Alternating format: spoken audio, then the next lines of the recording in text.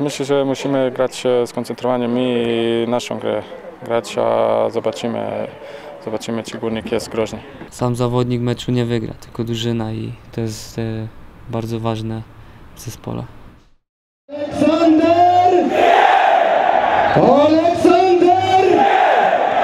Jeszcze głośniej! Aleksander! Aleksander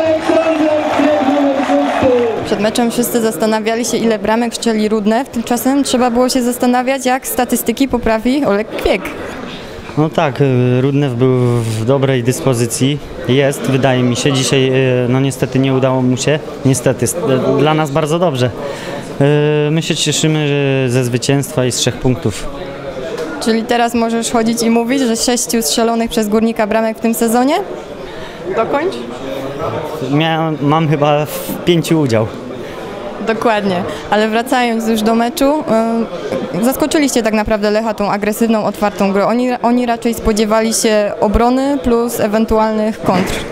No tak, y, trener nam mówił, że jeżeli chcemy się przeciwstawić Lechowi dzisiaj i dobrze z nimi zagrać, to, to my musimy im przeszkadzać y, w tym, żeby oni nie rozgrywali piłki, bo w poprzednich meczach widzieliśmy, że, że jeżeli oni mają piłkę, to wszyscy za nią biegają. I zagraliśmy nieźle wysokim pressingiem i, i dlatego dzisiaj wygraliśmy mecz. Szczególnie właśnie było to widać w pierwszej połowie. Mm, Ukoronowaniem była twoja bramka. No tak, cieszy, cieszy mnie, że strzeliłem bramkę, e, później wywalczyłem rzut karny i, i cieszy przede wszystkim, że, że dobrze zagraliśmy, że wygraliśmy z takim dobrym zespołem, jakim jest Lech Poznań. E, Ostatnie minuty meczu jednak były troszkę nerwowe, tak o bramka kontaktowa. Te ostatnie dwie minuty dłużyły się i dłużyły. No tak, y, niepotrzebnie właśnie musimy w takich sytuacjach jeszcze bardziej być skoncentrowani, nie może do takich sytuacji dochodzić. Mam nadzieję, że, że, że to w najbliższych meczach poprawimy i, i będzie lepiej. Na takie silne drużyny jak Lech, Widzew czy Śląsk mobilizujecie się jakoś specjalnie, bo z nimi gracie wyjątkowo dobrze, skutecznie. To znaczy z takimi zespołami właśnie jak Lech, Wisła czy Legia, to na pewno trzeba się wznieść na wyżynę i, i, i trener zawsze nam to powtarza i, i my właśnie chcemy to właśnie realizować i, i właśnie dobrze nam to wychodzi i, i teraz musimy po prostu z takimi zespołami jak my właśnie wspinać się na wyżynę. Lech może poczuł się trochę zbyt pewnie po swoich poprzednich wysokich wygranych. No możliwe, że, że się poczuł lepiej. Mnie to nie interesuje, jak oni się czuli. Ważne, że my się dobrze dzisiaj czuliśmy i wygraliśmy. Taka otwarta gra górnika, agresywna od pierwszych minut zaskoczyła Was? Znaczy na pewno nie. Już e, po, po, po, po poznaniu w ogóle składu pierwszego, no to już wiedzieliśmy, że e, Górnik nie będzie się bronił siebie, tylko będzie atakował. E, Myślę, że w pierwszej połowie no, dużo nam zajęło czasu, że, że, że weszliśmy ten właśnie rytm. Dopiero e, w drugiej połowie zaczęliśmy lepiej grać piłką, tak jak, tak jak to zawsze było w tych meczach poprzednich.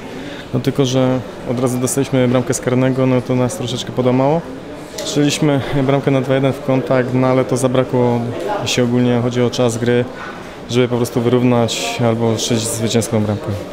Trzeba to więc pochwalić defensywę górnika, która tak naprawdę chyba nie dała Wam dzisiaj dojść do żadnej stuprocentowej sytuacji. Tak, nie mieliśmy jakiejś stuprocentowej sytuacji, tylko mieliśmy strzał jakieś e, z dystansu.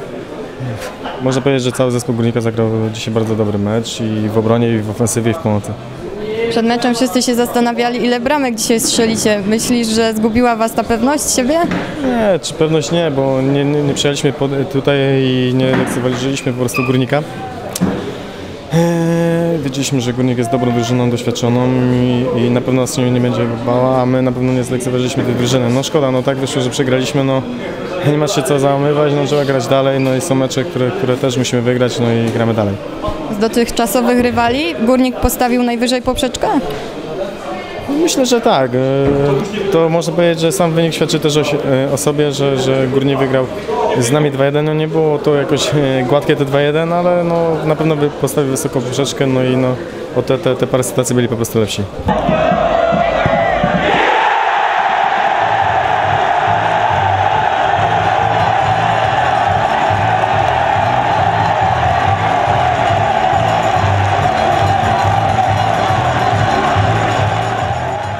Pewno e, bramka do szatni to zawsze podcina skrzydła, to zaraz praktycznie bramka na początku jeszcze drugiej połowy, to już w ogóle e, wiadomo 2-0 wygrywaliśmy, no niepotrzebna ta bramka w końcówce, ale tak jak mówię, z Lechem trzeba mieć po prostu oczy otwarte do 98, 6 minuty, bo to jest e, zespół, który potrafi w ciągu dwóch minut rozstrzygnąć mecz, także cieszymy się z tego, że ten mecz się zakończył i trzy punkty zostają w Górniku.